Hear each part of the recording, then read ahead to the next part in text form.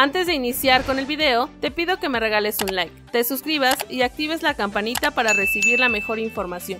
¡Comenzamos! Santos Laguna, José Paradela, el nuevo Gorriarán que buscan. El cuadro de Santos Laguna tiene en la mira a José Paradela, el nuevo Gorriarán que buscan para el torneo Clausura 2023 ante la salida de Fernando hacia Tigres UANL. Los guerreros ya tienen en la mira un elemento que puede ocupar su posición dentro del terreno de juego para cubrir la baja. La información la han destapado desde Argentina por parte del diario Le. José Paradela sigue sumando equipos interesados en llevárselo. Primero fue Racing y ahora se sumó Santos Laguna, indicaron en su sitio web. Con lo que además de los laguneros en la Liga MX, Racing de Avellaneda también está buscando sus servicios. Lo único cierto es que para Santos Laguna esta es una de las posibilidades para llegar, recordando que dejaron marcharse a Fernando Gorriarán con rumbo hacia Nuevo León con los Tigres UANL. El futbolista Charrúa era un referente del mediocampo dentro del equipo y necesitan un jugador de peso para poner en su lugar. Para Adela, el mediocampista en la mira de Santos. De esta forma, Santos Laguna tiene en la mira a José Paradela, el nuevo Gorriarán, que buscan para el torneo Clausura 2023 en la Liga MX. Se trata de un mediocentro argentino de 24 años que actualmente milita con River Plate en su país. También se puede desempeñar como interior por izquierda. Su carrera empezó con el Club Rivadavia de Lincoln. Posteriormente militó en Gimnasia y Esgrima de la Plata, mientras que para el 2021 River Plate pagó cerca de 2.5 millones de dólares para hacerse con el futbolista. Tiene contrato hasta diciembre del 2025, pero ha carecido de protagonismo desde su llegada al cuadro millonario. Con River Plate,